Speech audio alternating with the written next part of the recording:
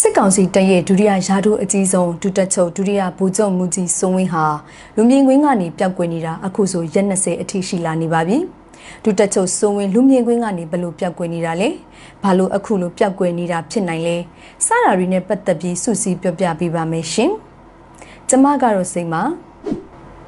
အာနာသိန်းဒုစစ်ခေါင်းဆောင်ဒုတိယဗိုလ်ချုပ်မူကြီးစိုးဝင်းဟာအခုလ3ရက်ကဗတ်ထူးမြို့ဘိုးတင်နန်းကျောင်းမှာပြုလုပ်တဲ့ပူလောင်းတင်နန်းစင်ပွဲအခမ်းအနားကိုနောက်ဆုံးတက်ရောက်ခဲ့ပြီးတဲ့နောက်ဒီကနေ့အထိလူမြင်ကွင်းကနေပြတ်ကွယ်နေတာဖြစ်ပါတယ်။ဧပြီလ22ရက်မနေ့ကပြုလုပ်တဲ့စစ်ကောင်စီရဲ့အရေးအကြီးဆုံးအစည်းအဝေးတွေထဲကတစ်ခုဖြစ်တဲ့စစ်ကောင်စီအစိုးရအဖွဲ့အစည်းအဝေးကိုတော့ဒုတက်ချုပ်စိုးဝင်းတက်ရောက်ခဲ့တာမရှိပါဘူး။ အလားတူပဲပုံမှန်တက်ရောက်လို့ရှိတဲ့မြန်မာနှစ်တစ်ကူတကြံပွဲတော်အခမ်းအနားတွေကိုလည်းတခုမှတက်ရောက်တာမရှိခဲ့သလိုစစ်ကောင်စီထိန်းချုပ်ထားတဲ့နိုင်ငံပိုင်သတင်းစာတွေမှာလည်းဧပြီလ၄ရက်ကနေဒီကနေ့အထိဒုတက်ချုပ်ရဲ့လှုပ်ရှားမှုနဲ့ပတ်သက်ပြီးဘာတခုမှဖော်ပြခဲ့တာမရှိပါဘူး။ဝါရင်နိုင်ငံရေးအကဲခတ်ဦးတန်းစိုးနိုင်ကတော့ဒုတက်ချုပ်စိုးဝင်အခုလိုလူမြင်ကွင်းကနေပြတ်ကွယ်နေတာဟာတည်င်းတွေထွက်ပေါ်နေသလိုဒရုန်းနဲ့တိုက်ခတ်မှုအတွင်းဒဏ်ရာရခဲ့တာကြောင့်ဖြစ်နိုင်တယ်လို့သုံးသပ်ပါတယ်။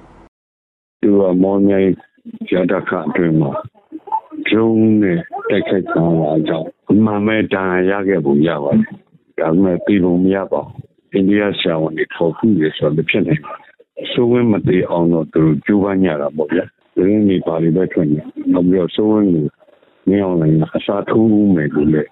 ကျွန်တော်မထင်ပါဘူး။အဲ့တော့အခုကအချိန်လေးတစ်ချိန်နည်းနည်းစောင့်ကြည့်ဖို့ ဆိုးဝင်းကဘယ်လောက်ထိတင်းထန်တဲ့ဒါတွေရပြီးအဲလိုကျုပ်ပြစင်းနေဖြစ်နေဆိုလေကျွန်တော်တို့မသိသေးပါဘူးအဲတော့အခုပြောဆိုထားချက်အရဆိုးဝင်းတစ်ချိန်ပြန်ထွက်လာလိမ့်မယ်ကျွန်တော်မျှော်လင့်ပါတယ် တွန်လိုင်းတပ်ဖွဲ့တစ်ခုဖြစ်တဲ့ Alpha Bus Drone တပ်ဖွဲ့ကတော့ဧပြီလ9ရက်နေ့လေပိုင်းကမော်လမြိုင်မြို့အခြေဆိုင်အရှိတောင်တိုင်းစစ်ဌာနချုပ်မှာစစ်တပ်အရာရှိကြီးတွေအစည်းအဝေးပြုလုပ်နေစဉ် drone နဲ့တိုက်ခိုက်ခဲ့ပြီးအဲ့ဒီတိုက်ခိုက်မှုအတွင်းဒုတက်ချုပ်ဒဏ်ရာရခဲ့တယ်လို့ထုတ်ပြန်ထားပါတယ်။ Alpha Bus Drone တပ်ဖွဲ့ရဲ့တာဝန်ရှိသူတအုပ်ကတော့အဲ့ဒီတိုက်ခိုက်မှုမှာဒုတက်ချုပ်စုံဝင်ဒဏ်ရာရခဲ့တယ်လို့သာသိထားရပြီးဒဏ်ရာပြင်းထန်မှုအခြေအနေနဲ့နောက်ဆက်တွဲအခြေအနေတွေကိုမသိရသေးဘူးလို့ DNA ကိုပြောပါတယ်။ ဒုတက်ချုပ်တရားရခဲ့တဲ့ဆိုတဲ့သတင်းတွေကိုတော့စစ်ကောင်စီပြောခွင့်ရဗိုလ်ချုပ်စောမင်းထွန်းကညင်းဆိုထားပြီးဒုတက်ချုပ်အနေနဲ့တိုင်းပြည်တာဝန်တွေကိုပုံမှန်ထမ်းဆောင်နေတယ်လို့ပြည်တွင်းသတင်းဌာနတချို့ကိုပြောဆိုထားပါတယ်။ CDM ဘူကြီးလင်းထအောင်ကတော့ drone တိုက်ခိုက်မှုအတွင်းဒုတက်ချုပ်ထိခိုက်မှုရှိခဲ့တာအမှန်ဖြစ်ရင်နောက်မှစစ်ကောင်စီကသတင်းဖုံးကွယ်ထားလိမ့်မယ်လို့ပြောပါတယ်။ကျွန်တော်ဒီအာနာသိမ့်ရဲ့တောက်လျှောက်မှာတိုင်းမှုတို့တမမှုတို့အဲ့လိုတက်ခိုက်ခံမှုအခြေအနေမှာစစ်တပ်ဟာဘယ်တော့မှအဲထုတ်ပေါ် မပြသတဲ့ပုံစံတစ်ခုတော့ရှိတယ်ပေါ့နော်တက်တက်ဒီပြောမှဆိုသူတို့ဘက်ကနေပြီးတော့ဒါကိုဆုံးရှုံးသွားတယ်ဒါကြီးကတော့ဟိုဖြစ်ပါဆိုအခုကျွန်တော်တို့ပြီးခဲ့တဲ့စစ်စင်ရေးမှာသူတို့ရဲ့တက်မမှုတွေအဲတခြားသောဥစ္စာတွေဘောနော်လက်နဲ့ချတာတွေဖမ်းခံရတာတွေတေဆုံးတာတွေဒါတွေရှိခဲ့တာဘယ်သူ့မှသူတို့ထုတ်မပြောဘူးပေါ့နော်အခုလိုမျိုးအဲတကယ်ဟိုပါပေါ့နော်အဲမီဒီယာတွေမှာသတင်းထွက်ပေါ်နေသလိုတကယ်ထိခိုက်ဒဏ်ရာရတယ်ဆိုရင်တော့မှသူတို့ကဝန်ခံမှာမဟုတ်ပါဘူးအဲ့ဒါကတော့သိကြတယ် စစ်တပ်ရဲ့ကြီးမားတဲ့ထိခိုက်မှုကိုနိုင်ငံတကာအတိုင်းအဝိုင်းနဲ့စစ်တပ်ထောက်ခံသူတွေကိုပေးမသိချင်တာကြောင့်အခုလိုဖုံးကွယ်ထားတာမျိုးလုပ်နိုင်တယ်လို့လည်း CDN ဘူကြီးလင်းထအောင်ကပြောပါတယ်။တစ်ဖက်မှာလည်းဒုတက်ချုပ်ဦးဆောင်တဲ့စစ်တပ်အရာရှိတချို့ကစစ်ကောင်းဆောင်ကိုဖြုတ်ချဖို့ကြိုးစားရာကနေမအောင်မြင်မဲ့ဒုတက်ချုပ်အဖမ်းခံထားရတယ်လို့သတင်းတွေထွက်ပေါ်နေပါတယ်။ CDM လေးတက်တက်ချက်ကြီးဈေးရကတော့တံပြန်အာနာသိမ့်မှုကျိုးပန်းတာကြောင့်ဒုတက်ချုပ်စိုးဝင်အဖမ်းခံထားရတယ်လို့တက်တွင်းသတင်းအရေးအမြစ်တွေစီကနေသိထားရကြောင်းအခုလိုပြောပါတယ်ကျွန်တော်တို့သိသလောက်ကအဲသူပြောင်းနေတဲ့ဖြစ်စဉ်ကဒီတန်ရာရလို့ပျောက်တာတဲ့အခုအဖမ်းခံရတဲ့လူတွေနဲ့ပတ်သက်တဲ့ဖြစ်အဲ့ဟာတွေနဲ့ပတ်ပို့ပြီးတော့ပတ်သက်တယ်ပေါ့နော်ပတ်သက်ပြီးတော့အချင်းချင်းအဲနည်းနည်းပြဿနာတွေရှိတယ်ဆိုတဲ့ပုံစံမျိုးရှိတယ်ပေါ့နော်အဲဒါကြောင့်အဲ့လိုကြောင့် အဲ့လိုအကြောင်းအရာတွေကြောင့်ပျောက်တယ်လို့ဟိုကျွန်တော်တို့ဒါဟိုလုံးဝတရားရာခိုင်နှုန်းတော့မသေးကြဘူးဟိုဒါဒီ90ရာခိုင်နှုန်းလောက်အထိတော့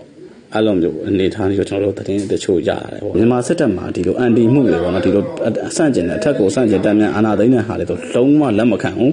ဟိုဖြစ်ခဲ့သည်ဖြစ်ခဲ့တာတွေရှိတယ်ဖြစ်ခဲ့တာတွေရှိတာတော့မှကြိတ်ပြီးတော့ဖြည့်ရှင်းတယ်အစင်လာဖြစ်သွားမှတအားကြောက်တယ်အဲ့လိုတမ်းများအာဏာသိမ်းတာတွေပေါ့နော်အဲ့တော့အဲ့ဒါတွေကိုကြိတ်ပြီးဖြည့်ရှင်းတာ ဖြည့်ရှင်းတဲ့ပုံနဲ့ကိုလည်းကျွန်တော်ကကိုဖြစ်စင်မှာအဲ့လိုမျိုးဟာကိုဒီကောလာလာနဲ့ဖုံးပြီးတော့ကြိတ်ပြီးတော့လုပ်တယ်လို့ကျွန်တော်ယူဆတယ်နော်